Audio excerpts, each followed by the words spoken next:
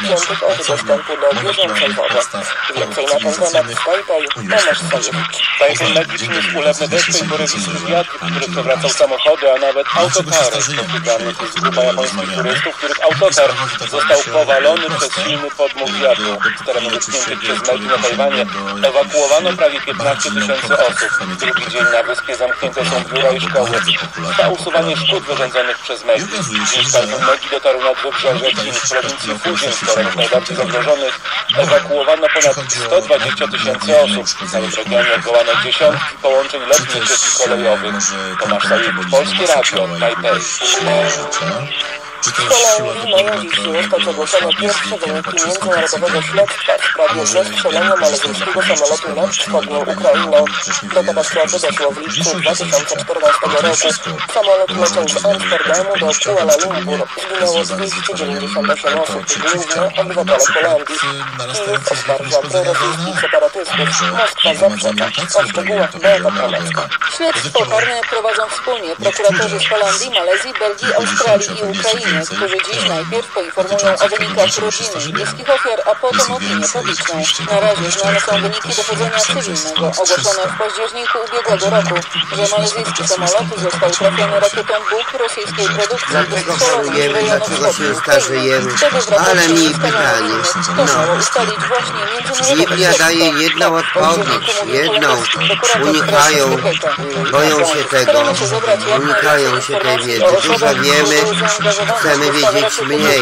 w. Faryzeusze i sadyceusze, ściemniacze, oszuści, kłamcy, jezioro kłamców, rzeka złodziei. Bo nierozwiązane są kwestie prawne. W ubiegłym roku Rosja zablokowała projekt rezolucji ONZ o utworzeniu Międzynarodowego Trybunału do spraw katastrofy, który miał się zająć ściganiem winnych.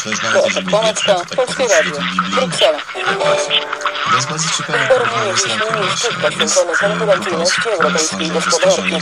Kanclerz Angela Merkel będzie gościła prezydenta Francji, szefa Komisji Europejskiej i prezesów 21 europejskich przedsiębiorstw. O szczegółach powie Wojciech Szymański.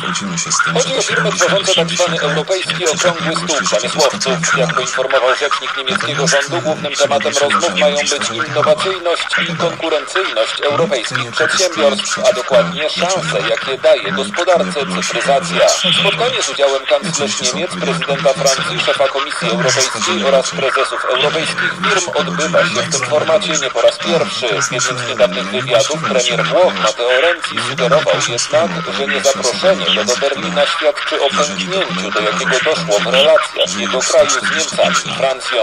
Wojciech Szymański, Polskie Radio, Berlin. Prawie 84 miliony Amerykanów obejrzało pojedynek telewizyjny Donalda Trumpa i Hillary Clinton. To rekord w historii debat prezydenckich w Zjednoczonych. Według sondaży i komentatorów debatę zdecydowanie wygrała Hillary Clinton. Z Waszyngtonu Marek Wokus. Pojedynek Trumpa z Clinton transmitowało 12 amerykańskich sieci telewizyjnych. Według danych firmy Nielsen oglądalność debaty wyniosła 83 miliony 800 tysięcy, czyli o ponad 3 miliony więcej od dotychczasowego rekordu, jaki padł podczas debaty Ronalda Reagana z Jimmy Carterem w 1980 roku.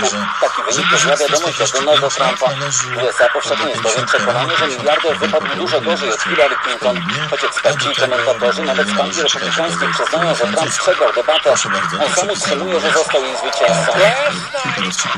Minioną noc była ekscytująca i niemal wszystkie sondaże mówią, że to my wygraliśmy z tą oszustką Hillary Clinton. Mówił biznesmen podczas wiecu w Melbourne na Florydzie. Jednak badania, na które powołuje się Donald Trump, nie są sondażami, tylko internetowymi ankietami, które nie są reprezentatywne ani dla populacji amerykańskich wyborców, ani dla grupy osób, które oglądały debatę. Z Waszyngtonu Marek Bałkuski, Polskie Radio. Co trzeci Włoch regularnie czyta codzienną gazetę. 10% robi to w internecie.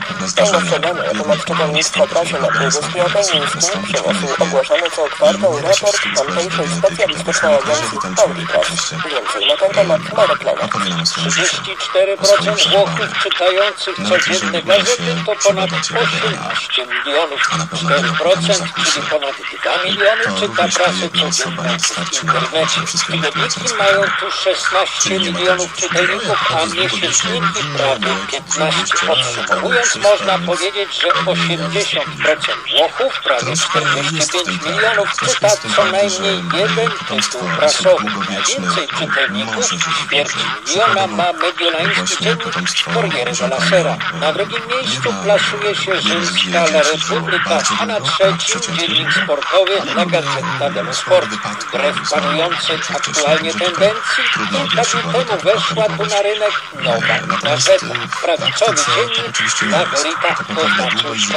Obok niego w kioskach wciąż znaleźć można La Gazzetta di Mantova, najstarszy na świecie dziennik ukazujący się w Mantui nieprzerwanie od 1664 roku. Marek Lenart, Polskie Radio. Ministrowie nauki, delegacje rządów i przedstawiciele państw członkowskich i obserwatorów Rady Arktycznej będą dziś rozmawiać w Waszyngtonie o badaniach naukowych w Arktyce. Do grona uczestników zaproszona także Polska. Nasz kraj na konferencji w Białym Domu będzie reprezentowała wiceminister nauki i szkolnictwa wyższego profesor Teresa Czerwińska. Profesor Teresa Czerwińska podczas spotkania w Waszyngtonie będzie namawiała przedstawicieli innych państw do współpracy z Polakami. Chcemy zaprosić inne kraje do współpracy właśnie w zakresie upowszechniania badań. Od 1957 roku Polska posiada stację polarną Hornsum na Spitsbergenie, która od 1978 roku działa w systemie całorocznym. Uczelnie mają sieć stacji uniwersyteckich, a Polska jest także krajem wiodącym w europejskim programie EduArctic, którego pomysłodawcą są naukowcy z Instytutu Geofizyki Polskiej Akademii Nauk. Dzięki temu projektowi Polacy mogą opowiadać uczniom o badaniach naukowych i dzielić się wynikami badań w wielu językach. I tutaj mamy ogromne możliwości zarówno prowadzenia webinariów, jak i też bezpośrednich transmisji z stacji badawczych do szkół. Myślę nie tylko o szkołach wyższych, ale również o szkołach podstawowych i liceum. Spotkanie zakończy się wydaniem stanowiska dotyczącego proponowanych działań na rzecz międzynarodowych inicjatyw badawczych w rejonie Arktyki. Katarzyna Indra, Polskie Radio. Jest to znakomity sposób. W Gdyni rozpocznie się dziś ósmy festiwal i Wyklęci. To największe w Polsce wydarzenie poświęcone naszej najnowszej historii. Łączy sztukę i naukę. O szczegółach Grzegorz. W ramach części konkursowej zaprezentowanych zostanie 27 filmów i 15 audycji radiowych. W sumie w tym roku na konkurs narosło aż 64 filmy. To rekord. Organizatorów jednak szczególnie cieszy duża liczba młodych ludzi, którzy przyjeżdżają do Gdyni ze swoimi filmami amatorskimi. Tak będzie i tym razem od samego początku, mówi twórca i dyrektor festiwalu Arkadiusz Gołębiewski. Gimnazjaliści i licealiści ze swoimi produkcjami to filmy, które opowiadają o dziadkach, o dziadkach, których następowali przez swoich własnych uwagi. Z myślą o młodych przygotowano warsztaty z uznanymi artystami. Ten festiwal to fenomen społeczny i jest tu miejsce na wymianę zdań, widzów, historyków czy świadków wydarzeń, którzy przecież pochodzą z różnych pokoleń, podkreśla Paweł Łuczyński, wicedyrektor i współtwórca Muzeum Powstania Warszawskiego. Najmłodsi od y, co najmniej kilkunastu lat widać, że ta fascynacja u nich historią rośnie. To łączy ich z tymi, którzy są często też świadkami historii. Podczas tegorocznej ósmej edycji festiwalu zaplanowano także po raz pierwszy konkurs teatralny, a także wiele koncertów. Grzegorz Maciak, Polskie Radio. Dziś przeważnie pogodnie, jedynie na północy kraju pochmurno i fajny może padać przelotny deszcz. Temperatura od 14 stopni na północnym wschodzie do 22 na południowym zachodzie. Wiatr na północy kraju dzisiaj umiarkowany i dość silny w porywach dochodzący do 60 km na godzinę, a nad samym morzem dość silny i silny w porywach dochodzący do 70 km na godzinę. Na pozostałym obszarze kraju, kraju wiatr słaby, choć po południu umiarkowany i dość silny, porywisty. Wiatr dziś południowy i południowo-zachodni. Wysoko w górach porywy wiatru do 80 km na godzinę. Radio 24. Słowa wszystko. Taka dni, taka rzecz, takie Teraz Mediamarkt. Za każde wydane 500 zł na RTV lub AGD magia w otrzymasz Watykanie. 50 zł na karcie podarunkowej. Akcja trwa powinno tylko do być żadnej 30 czarnej magii w Watykanie, bo- zapytaj sprzedawcę.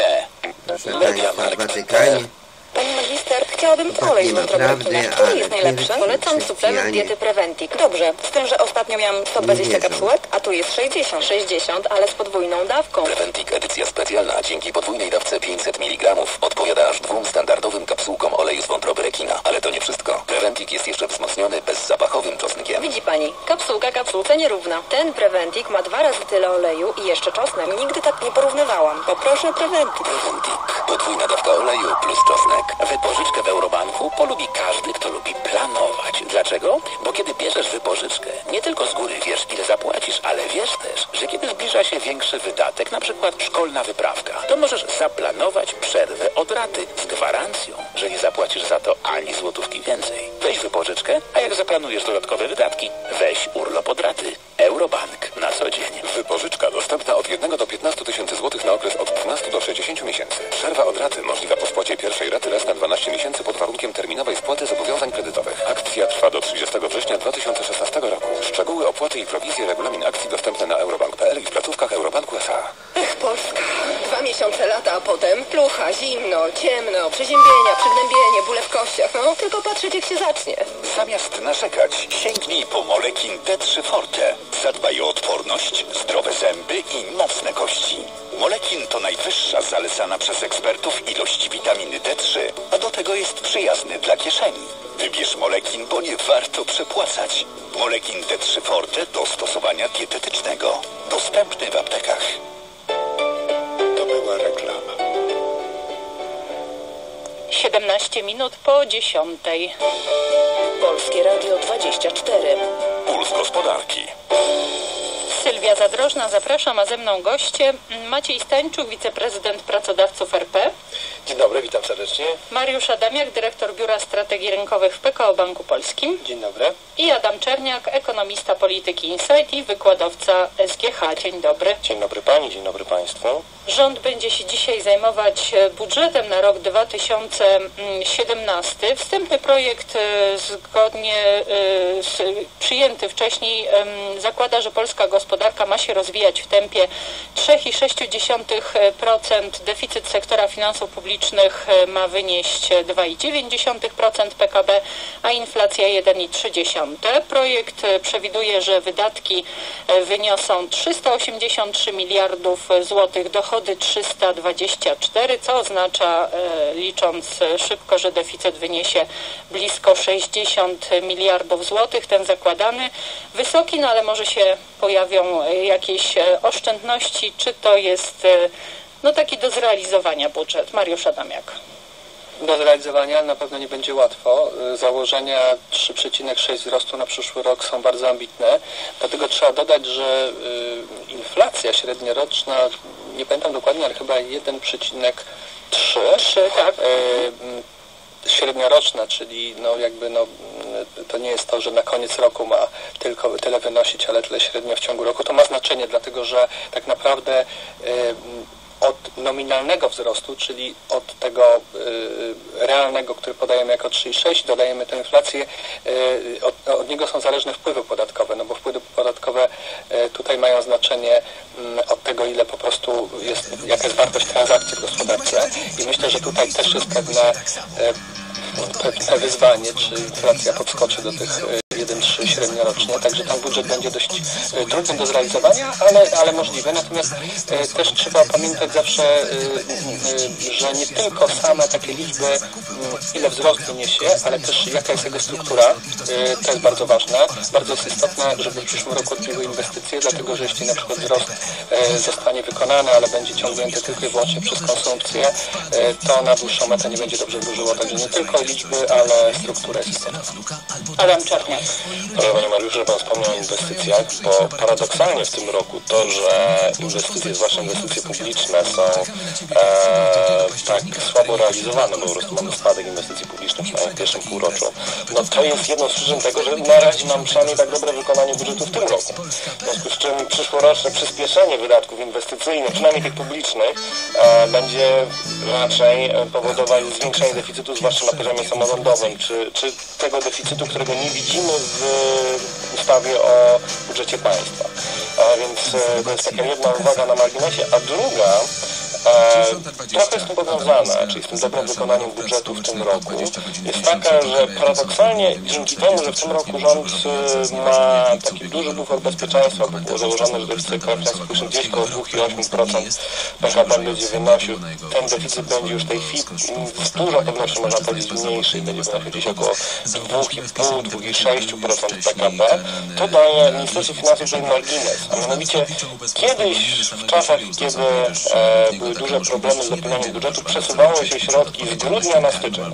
Manewry wykonywał jeszcze były minister finansów Cegrestowski. W tej chwili można zrobić w drugą stronę. Znaczy przesuwają część wydatków styczniowych na grudzień, podbijają ten deficyt za 2016 rok i dają sobie trochę więcej przestrzeni tym bardzo, bardzo napiętym e, deficycie na rok e, 2017. Więc tutaj taki manewr rząd ma, natomiast się, że to wystarczy. W mojej ocenie wciąż nawet jeżeli kilka m, do 10 miliardów złotych zostanie przesunięte z jednego budżetu do drugiego, e, to i tak ten budżet na rok 2017 będzie bardzo napięty i będzie trudno rządowi bez istotnego zwiększenia dochodów podatkowych wpływów podatkowych. mm, utrzymać deficyt poniżej poziomu 3% PKB, no bo niestety, tak jak tutaj już e, pan Mariusz wspominał, e, wzrost gospodarczy będzie niższy, inflacja prawdopodobnie też będzie niższa, no i co więcej zabraknie tych dodatkowych wpływów e, do budżetu państwa, które mieliśmy w tym roku, a mianowicie e, wysokiego zysku NBP i dochodów e, z aukcji LD, które dały w sumie 17 miliardów złotych w tym roku. Maciej Stańczuk, pierwsza ocena tych założeń budżetowych rok.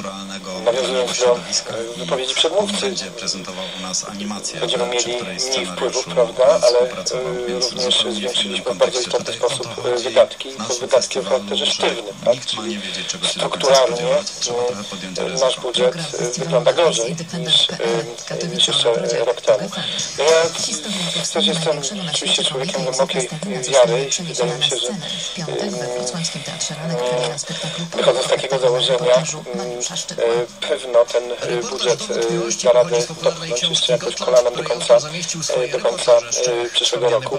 Natomiast e, oczywiście wątpliwości tutaj mm, nie tylko ekonomiści, ale również osoby zajmujące się e, gospodarką e, czy, czy przedsiębiorcy mają całą masę, te wątpliwości są również w samym rządzie, bo z jednej strony mamy e, takie sprzeczności. Rząd wychodzi z propozycją e, deficytu, przepraszam, e, wzrostu e, gospodarczego, e, wzrostu PKB na poziomie e, 3,6%, a w tym samym czasie e, Narodowy Bank Polski e, wychodzi e, z, z analizą, która mówi o wzroście 3,2%. Także to są bardzo duże różnice, które e, ja oczywiście jestem też bardziej skłonny przypuszczać, że, e, że tutaj rację ma bardziej NBP, jeśli na koniec przyszłego roku damy radę osiągnąć te 3,2, to wydaje mi się w tej obecnej sytuacji, w- której gospodarka polska się znajduje i nakładając jeszcze te niepewności, które przychodzą z zewnątrz Polski, na które nie mamy wpływu, to by był bardzo dobry wynik, no ale to spowoduje, e, że, że utrzymanie w ryzach tego benchmarku 3% będzie pieruńsko e, trudne.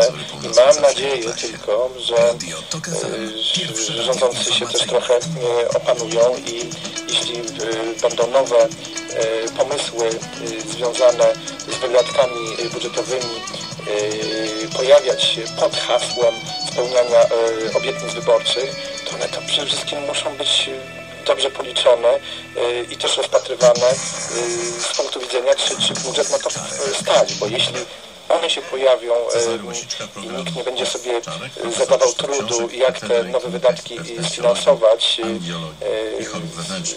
e, i nadal będziemy szermować tylko i wyłącznie hasłem uszczelniania systemu podatkowego, no to rzeczywiście e, taka polityka może być niebezpieczna i zaprowadzić nas na manowce. Ja tutaj tylko przypomnę, że my wciąż dyskutujemy o budżecie, który jest przygotowywany na rok, w którym wszyscy na razie spodziewamy się całkiem dobrej koniunktury. Może ciut gorszej niż teraz, ale całkiem dobry.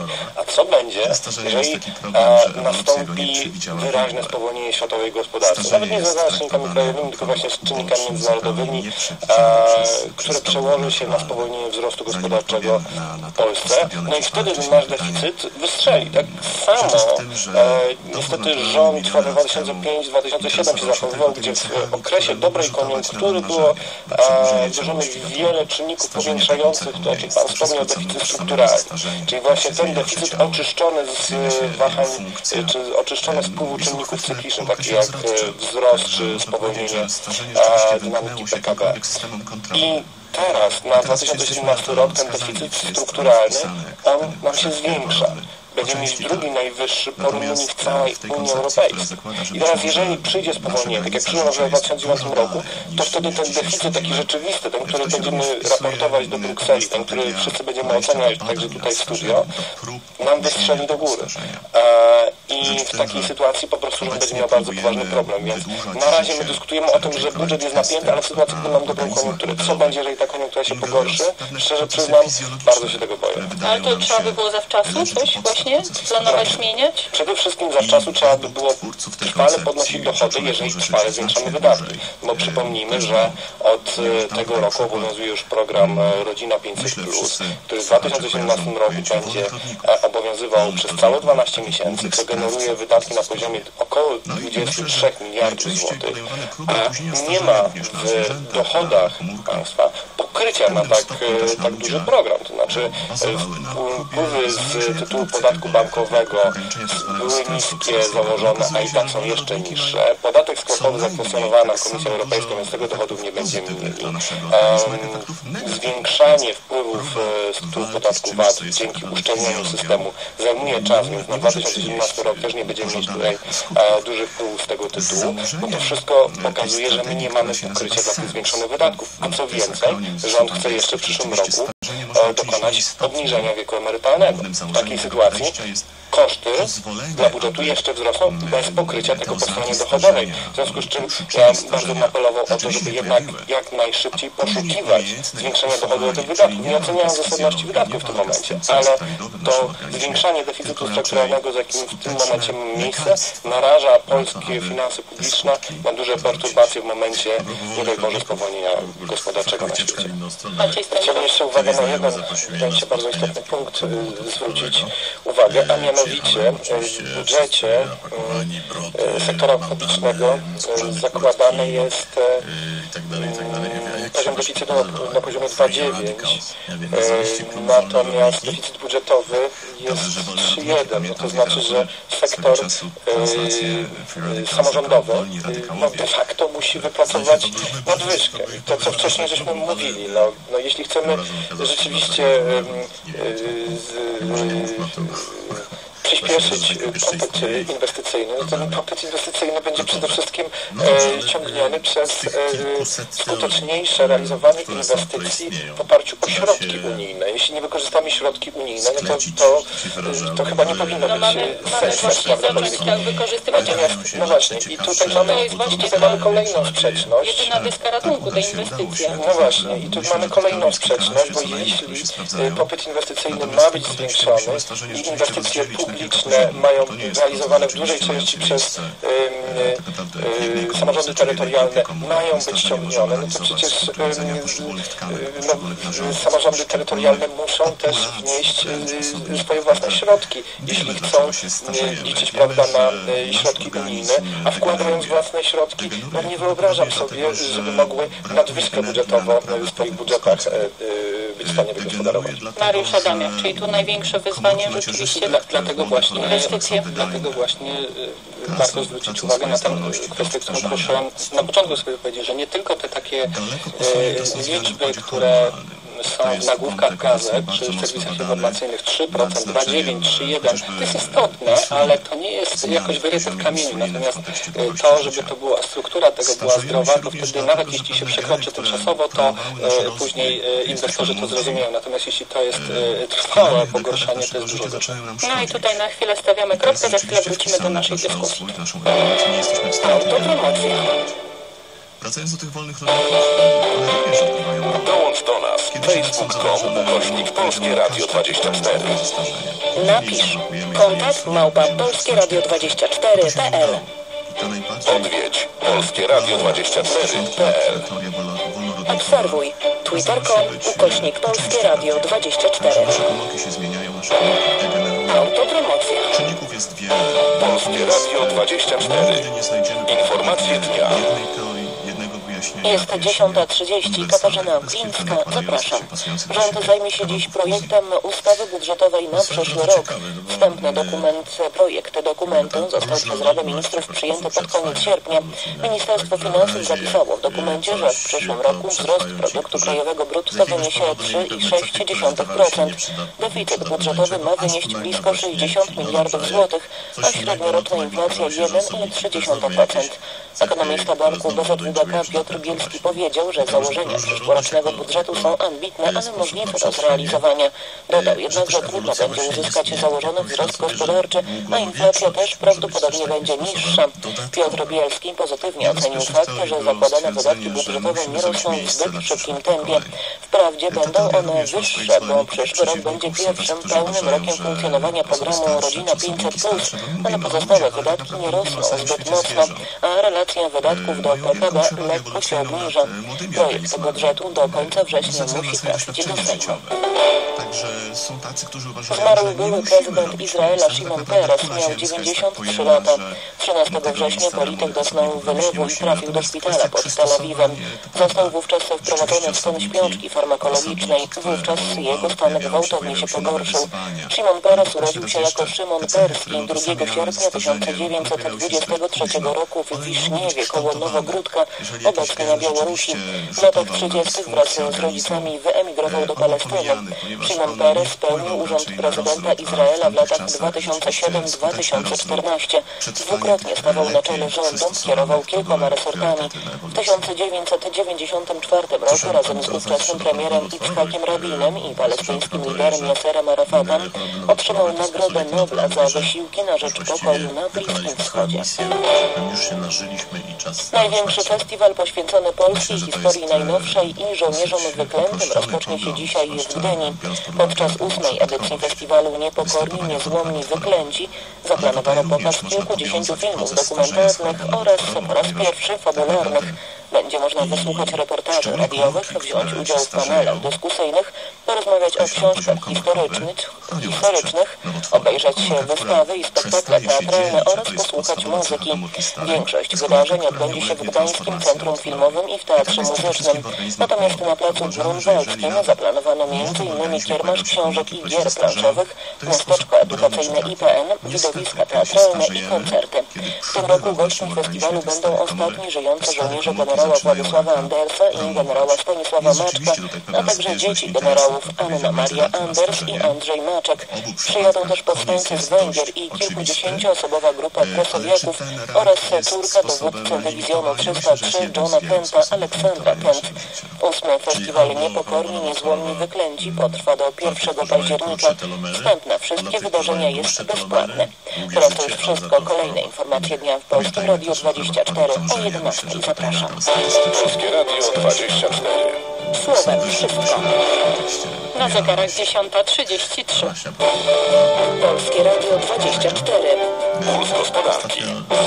Przypomnę, że gośćmi Pulsu Gospodarki są dzisiaj Adam Czerniak, Polityka Insight SGH, Mariusz Adamiak, PKO Bank Polski i Maciej Stańczuk, pracodawcy e, RP. Rozmawiamy o budżecie, bo dzisiaj zajmuje się nim rząd. E, No, budżet musi do końca września trafić do parlamentu, więc rzeczywiście e, już ostatnie e, chwile. E, Mówiliśmy o tym, że e, no jest tutaj rzeczywiście ambitny ten cel do zrealizowania. E, Natomiast e, to prawda, że przez cały rok rzeczywiście będziemy mieć wypłatę programu Rodzina e, 500 plus. Jeśli chodzi o wydatki, mm, no to rzeczywiście te z podatku bankowego są niższe niż zakładano.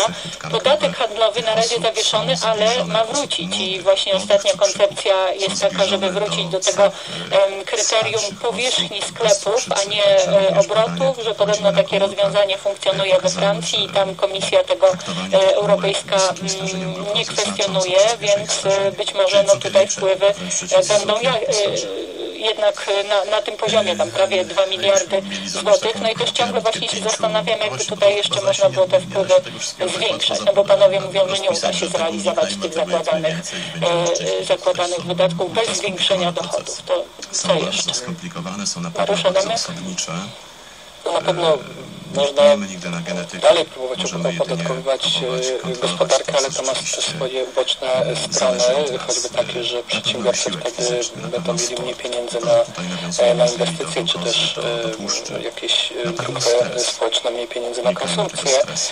E, To opodatkowanie gospodarki w Polsce już jest dosyć duże, więc myślę, że tutaj ograniczony potencjał jest do tego. Świetnie. Przede wszystkim no, myślę, że trzeba dbać o wzrost gospodarczy, bo wtedy, kiedy wzrost e, gospodarczy jest wysoki, e, wtedy też rosną wraz z nim 2000 e, wpływy podatkowe. E, Także to jest chyba w tym momencie droga na 30% do tego, żeby, mm, e, być żeby z poprawiać e, sytuację fiskalną państwa, no ale też wydaje mi się racjonalizować wydatki.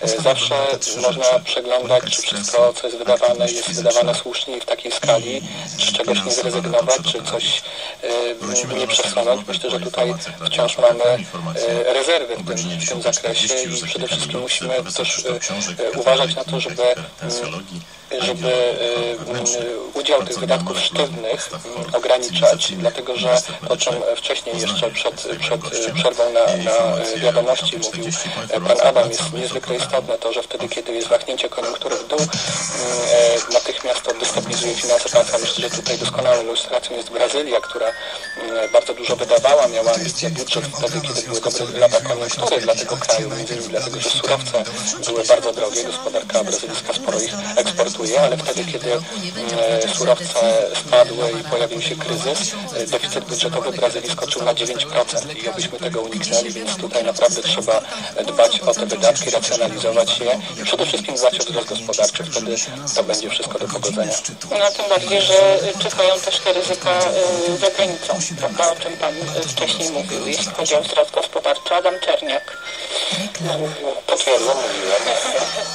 Ryzyka i niestety ryzyka rosną nie maleją. Znaczy jak spojrzymy w tej chwili na prognozy, na przykład najnowsze prognozy Światowej Organizacji Handlu WTO, to pokazują wyraźny spadek w handlowych. Stany Zjednoczone dużo mniej w tej chwili importują, co oczywiście rykoszetem uderza w Europę, a później jeszcze drugim rykoszetem w Polskę, gdzie nasz eksport do Stanów Zjednoczonych jest na przykład niewielki, ale z kolei nasz eksport do Europy, gdzie są przetwarzane, e, wysyłane przez nas części, komponenty i później w gotowych produktach wysyłane do Stanów jest już bardzo znaczący.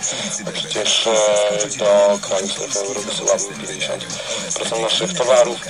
Mm, W związku z czym e, to, co dzieje się w tej chwili na świecie jest bardzo ważne. Mamy jeszcze ryzyka nie tylko z globalnym handlem, ale także ryzyko związane z e, koniunkturą na świecie po Brexicie. Na razie wszystko wygląda dobrze, wszystko wygląda stabilnie, ale w momencie, w którym się rozpoczną negocjacje wyjście Wielkiej Brytanii z Unii, no to wtedy możemy mieć do czynienia z, ze spowolnieniem. Także tych ryzyk jest dużo i te ryzyka może nie będą się materializować w ciągu najbliższych dwóch, trzech miesięcy, ale na pewno w perspektywie, w której e, będą oddziaływać zmiany wprowadzone przez rząd, czyli właśnie program Rodzina 500+, obniżenie wieku emerytalnego, trzeba te ryzyka brać pod uwagę. E, no i tak naprawdę, jak pani redaktor pyta, e, gdzie szukać dodatkowych dochodów, to ja jednak się zastanawiam nad tym, czy nie ograniczyć wzrostu wydatków, bo, e, bo w zasadzie dochodów już chciałem to gdziekolwiek e, szukać. Oczywiście uczenie systemu podatkowego jak najbardziej, to pomysły Ministerstwa Finansów zawsze, tak, no uczeni zawsze zyskają przeze mnie poklask, byleby tylko nie szkodzić nadmiernie przedsiębiorców i nie dokładać bardzo dużo biurokracji, to oczywiście uczenie systemu podatkowego tak, wyrównywanie praw dla poszczególnych grup przedsiębiorców też, tu też jestem za. Natomiast e, jeżeli chodzi o szukanie dalszych dochodów podatkowych, na przykład jakichś podatkach sektorowych, na wzór węgierskiego podatku od telekomów, to byłbym bardzo sceptyczny wobec takich rozwiązań. Raczej zastanawiałbym się i posugeruję e, Radzie Ministrów, żeby zastanowić na tym, czy jednak nie ograniczyć e, przyznawania wcześniejszych emerytur. Znaczy obniżyć wiek emerytalny, jeżeli już taka była obietnica i rząd bardzo chce ją spełnić, ale e, obniżyć w ten sposób, żeby skorzystały z tego osoby, które faktycznie bardzo dużo przepracowały i są już zmęczone, zmęczone pracą i po prostu nie są w stanie dalej wykonywać swojego zawodu, czyli jak pan redaktor słusznie zauważa, powiązać po prostu pełen przy, przywilej emerytalny ze stażem. No tutaj też jeszcze dyskusja będzie trwać, tutaj nic jeszcze nie jest e, przesądzone. Chciałam jeszcze panów podpytać w kontekście tutaj tego budżetu, bo w niektórych gazetach dzisiaj mm, są takie tytuły, że budżet to e, pożegnane zadanie pana ministra finansów Pawła Szałamachy i no, mówi się ostatnio o tym, że ten resort e, w ogóle miałby być e, e, troszeczkę jednak tak w cień odsunięty, że na pierwszy plan tego e, super resortu gospodarczego e, wyszłoby jednak Ministerstwo Rozwoju. Czy to dobre plany? Maciej Stańczuk. No to jest oczywiście decyzja rządzących. Bo różnie też na świecie jest to rozwiązywane, prawda? W niektórych krajach minister finansów jest ważniejszą taką postacią, gra rolę, w innych właśnie minister gospodarki, czy tak jak u nas rozwoju. No właśnie, trzeba te kraje, gdzie minister finansów odgrywa bardzo istotną rolę, jak na przykład Anglia e, czy Niemcy, no to e, to widać po efektach. Te kraje wypracowują, mimo że rozwijają się e, w, w dużo niższym niż gospodarka polska, deficyt czasem e, nadwyżkę budżetową. Za zeszły rok Niemcy miały nadwyżkę, e, w tym roku, po pół roku Niemcy wypracowały nadwyżkę budżetową e, przekraczającą 20 miliardów euro. Tak? Nie, oczywiście ten sposób myślenia jest dużo, dużo bardziej bliższy. Biorąc pod uwagę to, co pan Adam przed chwilą powiedział, się oczywiście bardzo, bardzo, bardzo podzielam prawda, ten pogląd. E, To jest bezpieczeństwo e, zarządzania e, pieniądzem publicznym. Przekłada się to na stabilizację gospodarczą i na końcu dnia dobrobyt obywateli. Co jest złego w tym modelu, tak? No i mamy oczywiście przykłady, gdzie Ministerstwo Finansów ma mniejszą rolę. W moim przekonaniu są to przykłady gorsze. E, Nie ma nic złego e, w stwierdzeniu, że minister finansów to nie powinien być dobrym wujkiem, to nie jest specjalista od e, realizacji wielkich e, programów ideologicznych, e, tylko taki księgowy. Nie? A dla mnie to nie jest nic perspektywnego, wręcz przeciwnie. Pozycja księgowego w każdej dobrze, e, rozsądnie i stabilnie prowadzonej firmie no, musi być bardzo, e, bardzo istotna. Wszyscy się również w gospodarstwie domowym pewnie czujemy, jeśli, nie wiem, e, Księgi są pod kontrolą. Księgi są pod kontrolą i nie wydajemy więcej, prawda, niż, e, niż mamy przychodów. Dlatego ja uważam, że osłabienie pozycji ministra finansów w tej obecnej sytuacji, kiedy mamy niesamowicie napięty budżet, kiedy poruszamy się po bandzie, prawda, jeśli chodzi o deficyt finansów e, publicznych, no byłoby bardzo złym e, sygnałem. Wskazywałoby po prostu, że e, e, rzucamy się w personalizację jakiegoś programu ideologicznego, którego e, ani rynki by nie rozumiały, nie mówiąc o tych e, agencjach ratingowych. Mariusz Adamie. Dla mnie to nie ma większego znaczenia. Szczerze mówiąc, ważne, żeby Ministerstwo Finansów, nieważne czy ono będzie, ono będzie przecież tylko może troszkę inaczej będzie to opakowane, ma spełniać przede wszystkim swoje zadania. Ona ma dbać o budżet, ma odpowiednio ściągać podatki, y, to jest przecież y, cała, cała właśnie nadzór nad, nad systemem podatkowym, ściąganiem ich służba celna, te wszystkie e, elementy. Natomiast to, w jaki sposób to będzie opakowane, to, e, to zarządzanie e, gospodarką jest e, wtórne, e, natomiast e, tutaj trzeba też zadbać o e, odpowiednią komunikację do rynku, dlatego że tutaj obawiam się takiej delikatnej kwestii, że na przykład rynki finansowe mogłyby odebrać, że e, pozycja ministra finansów spada, w związku z tym przestajemy e, przywiązywać wagę właśnie do tych kwestii budżetowych, spełnienia różnych wskaźników fiskalnych, to mogło być z niepokojem odebrane, ale jeśli to się odpowiednio zakomunikuje, to myślę, że nie będzie problemu. Ważne jest, żeby to dobrze było, dobrze funkcjonowało, a nie, niekoniecznie w jakiś sposób, w jakiej strukturze. Adam Czerniak?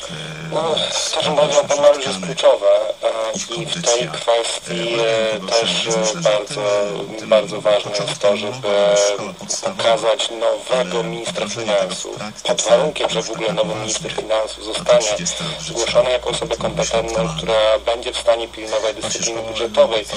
Ja mam poczucie, że to jest scenariusz optymistyczny na ten moment, bo jednak te słuchy, które dochodzą od nas e, z rządu czy, czy e, z partii rządzącej wskazują na to, że raczej nie będzie obsadzone stanowisko ministra finansów, tylko e, nadzór nad ministerstwem trafi bezpośrednio do wicepremiera Morawieckiego, a to będzie bardzo ciężko zakomunikować inwestorom jako utrzymanie mocnej pozycji resortu finansów, jako takiego obrońcę deficytu sektora finansów publicznych.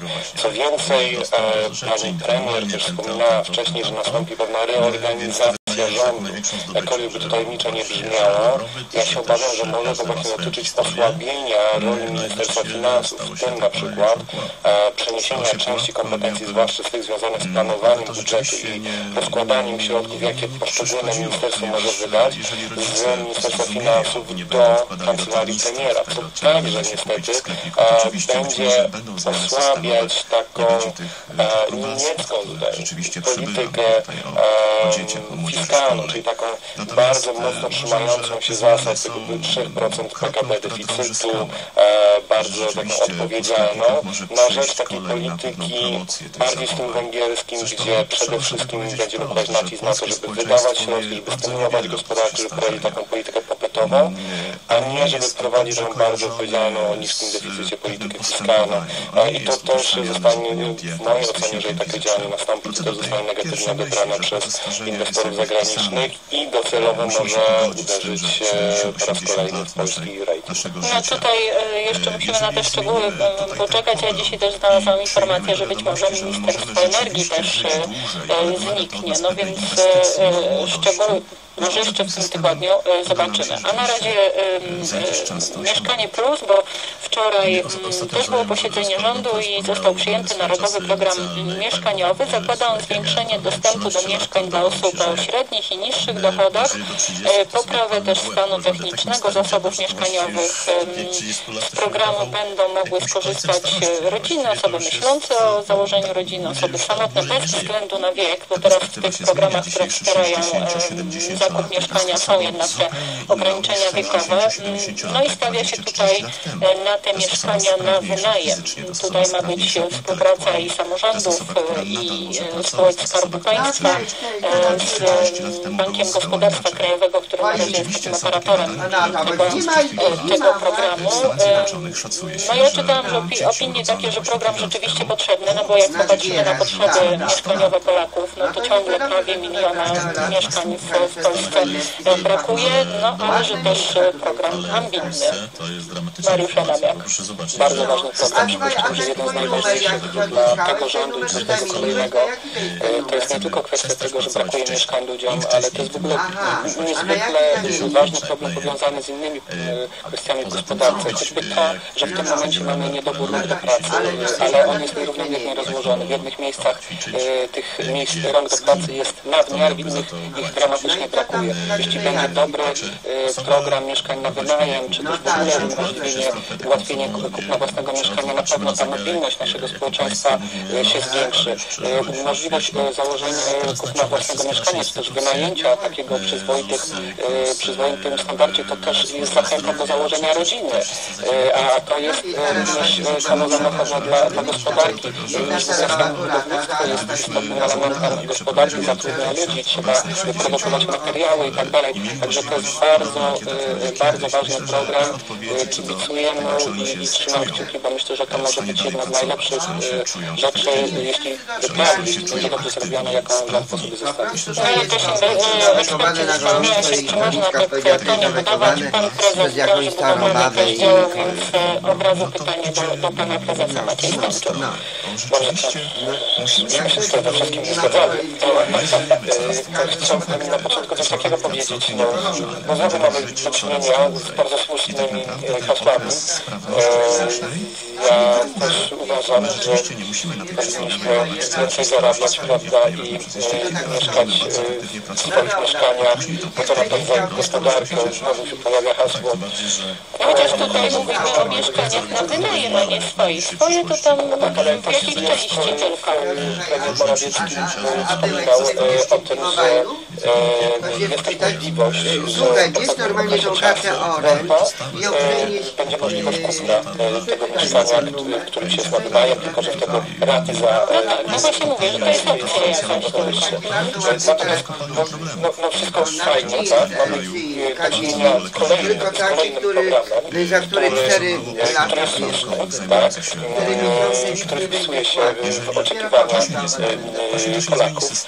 Natomiast e, no, ja nie zauważyłem słowa e, na zająknięcia się na ten temat, jak to, ile to będzie kosztowało, jakich środków ma być e, to sfinansowane. No, no, przecież... No na razie to jest gospodarstwo krajowe zostało około 5 tak? miliardów przeznaczone 265, 67 plus, że za ten to i kiedy daje są te numer, o czym mówi, że to są w to nie włoży. Jeśli na dodatek dołączymy kolejny program, który będzie wymagał według mnie jakiegoś dofinansowania, no bo poza PGK, ale PGK to nie jest instytucja, która rozdaje pieniądze e, prawda, tylko Ale na przykład grunty, ale na przykład grunty za certyfikaty będą wnosić czy spółki Skarbu Państwa, czy samorządy. No są poszukiwane, są różne rozwiązania no.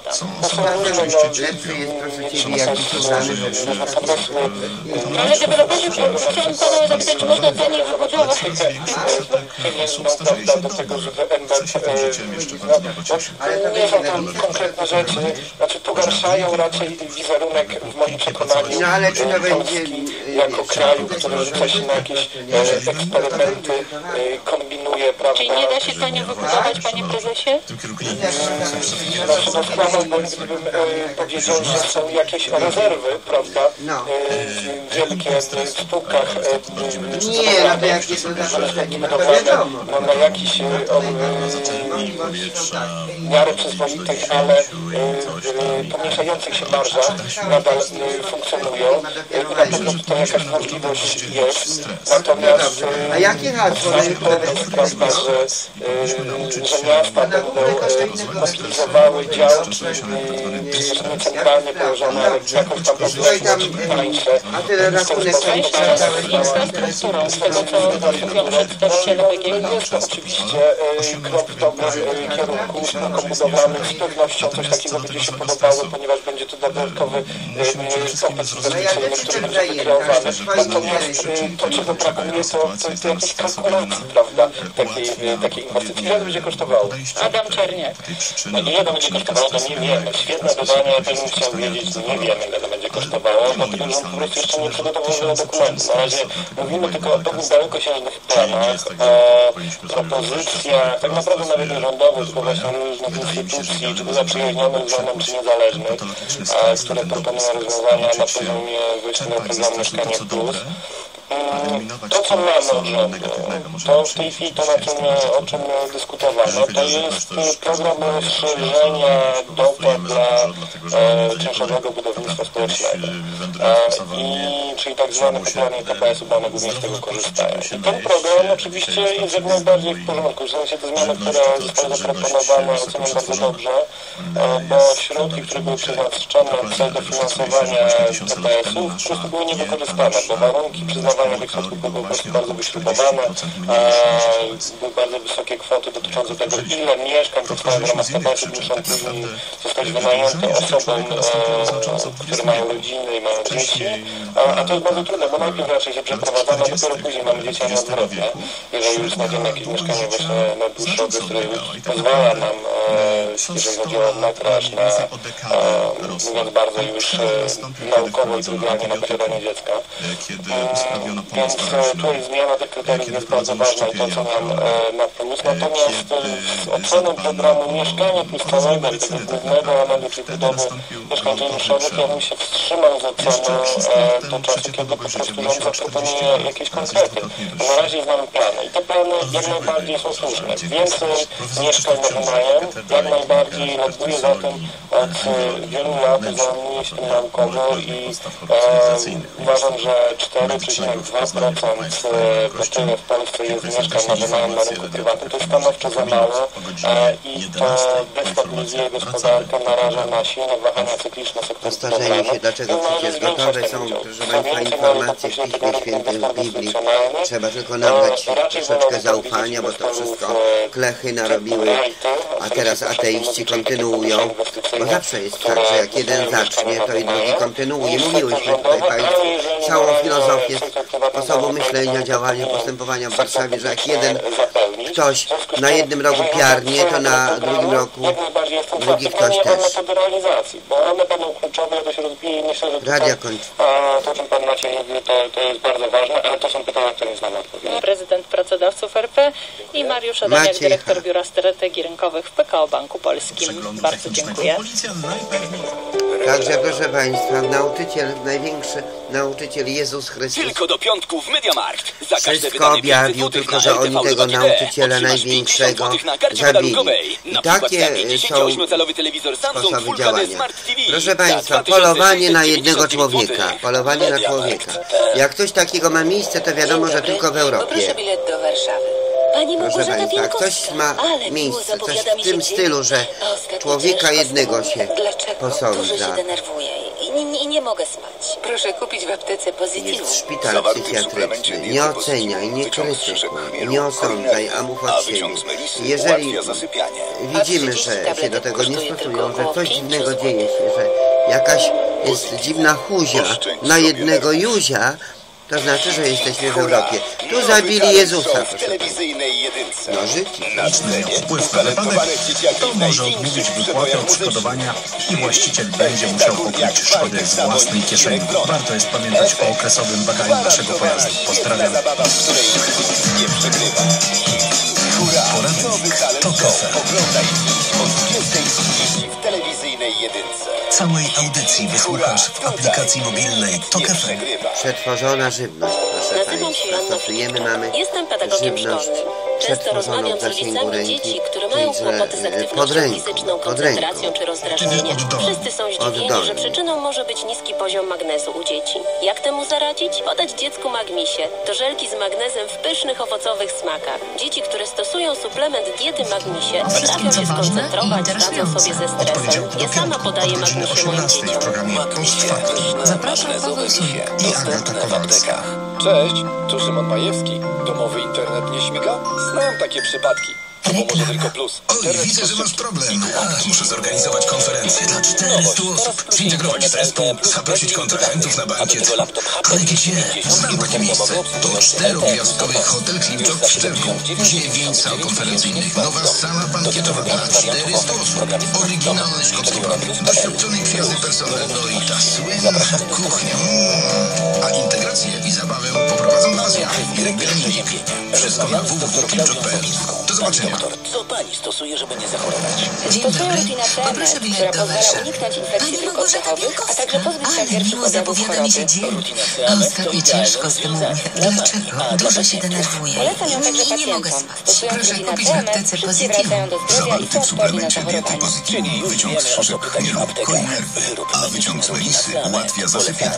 A 30 tabletek kosztuje tylko około 5 zł. Przesuwam się od Oszczędź sobie nerwów. Wyciągasz kartę. Cześć Basia, jak po weekendzie? Cześć. Wiesz, cały czas w domu. Dzieci, sprzątanie, a jak u ciebie? dodatkowe Proszę Państwa, Zostań walczmy z strażnikiem tą przyszłości twojego dziecka. wymową złą. Już dziś wyposaż się Basia, w pakiet no jaka strażnika. Basia? Oszczędzanie z ochroną kapitału, Basia. ubezpieczenie na co dzień No i tak premia mówi do 500 zł co roku. 45-letnia kobieta, 5, Sprawdź 10, na 6, nm.pl. 10 Regulamin promocji znajdziesz kobieta na mówi Basia? nm.pl. Doktor nauk medycznych Coś nie tak, Michał prawda? Lekietowski. Zgrzyt. Wiele starszych Nie osób dość, nie że zdaje oni sami na siebie zgrzytają zębami. Tak, rzeczywiście jak starsi ludzie są, to to wszystko się wyczuwa na ulicy. Nowy Świat diety w Warszawie. Taki starszy człowiek jest bardziej wrażliwy, no, tak jak pies bardziej słyszy niż człowiek, prawda?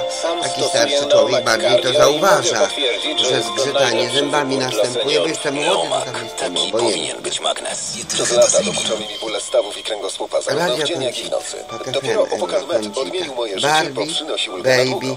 Langstrom, Uwalnia od bóli stawowych, mięśniowych i reumatycznych. Opokat Med bez bólu przez cały dzień. Bez bólu przez całą noc. Jezus reklamował tylko Słowo Boże. Jezus reklamował prawdę. Bogactwo. W Biblii mamy bogactwo. Bogactwo. W Biblii jest bogactwo wiedzy. Polskie Radio Mądrość, 24. bogactwo mądrości Bożej. Jak głębokie jest bogactwo pieśni. ma przełożenie na nasze codzienne Jak życie. W Euronetie Plus trzymamy rękę na unijnym pulsie. W każdy piątek od godziny 23.10 w audycji Panorama Europejska w To Polskim też tej Radiu pieśni nie ma, może już w nowym jest. Może od nowa. Proszę bardzo, śpiewniki Autopromocja. trzeba śpiewać. Nadaje nasze radio to FM Eurokoncita Barbie Baby Langstrom Extra. Która godzina powiedz? Jest 11. 11. Polskie Radio 24. 11. Informacje dnia. Pierwsze raz. 11 godzina. Przyszły rok za godzinę rozpocznie się posiedzenie rządu. 11. Jest godzina Będą 11 zmiany w proszę prawie słuchać. dotyczące kar wiadomości dla tu i tu pijanych i tam. kierowców, zapowiedział wiceminister Małgorzata sprawiedliwości Mostowiec. Michał Wójcik. Nie będzie już żadnej instytucji Świat warunkowego wspomina zawieszenia, Szymona będzie Peresa. bezwzględna kara pozbawienia Holenderskie wolności. błękitne hełmy skarżą swój rząd za wydarzenia w meczu Legia spodziewa się, że UEFA decyzję o jej ewentualnym ukaraniu przekaże jutro rano. Z całego świata do Izraela płyną kondolencje po śmierci Szymona Peresa, byłego premiera i prezydenta, jednego z najbardziej zasłużonych polityków działających na rzecz pokoju na Bliskim Wschodzie. Depesze do władz w Jerozolimie wysłali już m.in. prezydenci Francji i Stanów Zjednoczonych François Hollande i Barack Obama. Syn Szymona Peresa, Henry, dziękował za okazane wsparcie i w kilku słowach wspominał ojca. Nasz ojciec 24 zawsze myślał o przyszłości. Mówił do nas, spójrz na jutro, buduj przyszłość Izraela z odwagą i mądrością i zawsze dąż do pokoju. Jesteśmy zaszczyceni, że mogliśmy być częścią jego najbliższej rodziny. Wiemy też, że cały 324 naród Izraela opłakuje tę wielką stratę. 383 Dzielimy ten ból razem. deficyt 59 Szymon Peres był jednym z twórców historycznego 3% porozumienia z. Oslo z Ten 1993 dokument roku między państwem żydowskim a Organizacją Wyzwolenia Palestyny. Stworzył podwalinę budżetowych. pod powstanie autonomii palestyńskiej w wzrost 1994 PKB na roku jako minister spraw 3,9%, zagranicznych za wkład w rozmowy z Palestyńczykami otrzymał pokojową Nagrodę Nobla. 3,6%. Podzielił ją z ówczesnym premierem Izraela być Rabinem i większe szefem niż OWP Yasserem Arafatem. dzięki uszczelnieniu systemu Publicznie podatkowego. nawoływał Minister Finansów rynku kukłę przekonuje, że ten projekt jest groził za to do ambitny i dwóch lat realistyczny, więzienia. bo, Piotr bo umożliwia przed sądem i realizację wysłuchał polityki społecznej i gospodarczej rządu i wszystkich e, kampanijnych wyborczych zapowiedzi.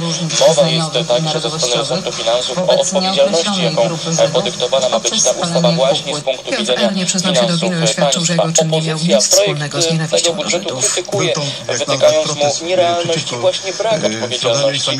No i tu parlamentarzyści sądzie odpowiada tylko na pytania swojego obrońcy. Dziś też że zostanie pięciu świadków. Około historii, 100 a szacunki, holenderskich żołnierzy, którzy że 21 lat temu w ramach misji ONZ-u mieli bronić ludności 2,9% Srebrenicy przed masakrą ze strony bośniackich Serbów, zamierza pozwać swój rząd, progu błękitne hełmy, domagają się 3%. odszkodowania oraz chcą, by sąd oficjalnie potępił władze w Hadze za wysłanie ich na niewykonaną misję. Więcej o tym. Dionis Turis. Holendrzy z batalionu Dutch naszym odpowiadali za muzułmańską enklawę w. Bośni i Zdaniem Hercegowini także wówczas, gdy w lipcu PKO BP planowany budżet będzie 1995 trudny do roku bośniaccy Serbowie wymordowali tam podkreśla 8 tysięcy mężczyzn Radia chłopców. 24, NZ-owscy żołnierze nie ruszyli im z pomocą i wycofali się ze Srebrenicy bez walki. Do dziś są oskarżani o bezczynność, a czasami także o współudział w ludobójstwie. Oni sami uważają, że było inaczej, że ich rząd wysłał ich na Bałkany bez odpowiedniego przygotowania i środków, a ich misja była w gruncie rzeczy niemożliwa do wykonania. Tak niedawno mówiła też holenderska minister obrony, na której stanowisko powołują się teraz skarżący żołnierze.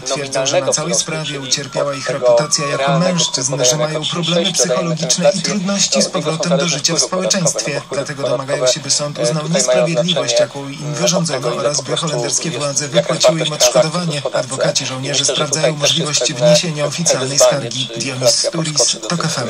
Donald Trump nie przyjmuje do wiadomości, że przegrał pierwszą prezydencką debatę z Hillary Clinton. Zwycięstwo to kandydatce demokratów przyznała większość amerykańskich mediów, a kontrowersyjny miliarder oskarżył je o stronniczość, podobnie jak prowadzącego debatę Lestera Holta.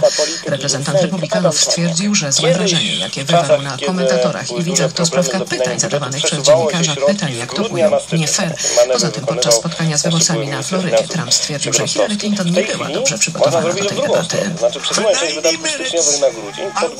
Obserwowałem sekretarz Clinton uważnie przez 90 minut. Nie chciałem jej zawstydzić, więc tego nie mówiłem, ale tego nie da się ukryć. Ona tkwi w przeszłości. Przez 90 minut broniła fatalnego stanu USA, podczas gdy ja wszystko rozplanowałem.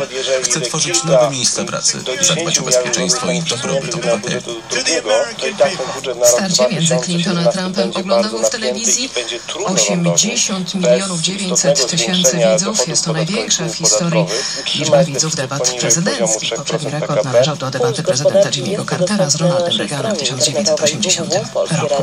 Słuchasz informacji TOK FM. Pewnik Sport. Działacze Legii Warszawa spod ewentualnej kary za zachowanie swoich kibiców podczas meczu z Borussią Dortmund spodziewają się jutro rano i dopiero wtedy, jak oświadczyła rzeczniczka klubu, wypowiedzą się w tej sprawie, a UEFA może ukarać Legię na przykład poza grzywną, także decyzją o rozegraniu kolejnego spotkania Ligi Mistrzów przy pustych trybunach, a będzie to mecz z Realem Madryt. Agnieszka Radwańska znowu zmierzy się na korcie ze swoją przyjaciółką w trzeciej rundzie turnieju. Wuhan zmierzy się z Karoliną Woźniacką. Aga i Karolina lubią ze sobą spędzać czas. Często wychodzą razem do kina na zakupy czy kolacje, ale kiedy spotykają się na korcie, nie ma mowy o przyjaźni. Obie walczą na całego. Ostatnio Radwańska i Woźniacka spotkały się cztery dni temu w półfinale turnieju w Tokio. W tym meczu lepsza okazała się Dunka, która imponuje formą. Karolina wygrała 12 z 13 ostatnich spotkań, a wczoraj odniosła jubileuszowe 500 zwycięstwo w karierze. Dziś też będzie faworytką, szczególnie, że potrafi i lubi grać przeciwko Agnieszce. Na 13 pojedynków z krakowianką Woźniacka okazała się lepsza aż dziewięciokrotnie. Kamil Gapiński, TOK FM. Spotkanie Radwańska-Woźniacka powinno rozpocząć się około 14.30 polskiego czasu, natomiast kolejne informacje w Radiu TOK FM już o 11.20. służb społecznych, te pieniądze... Na północy Polski deszczowo, na Pomorzu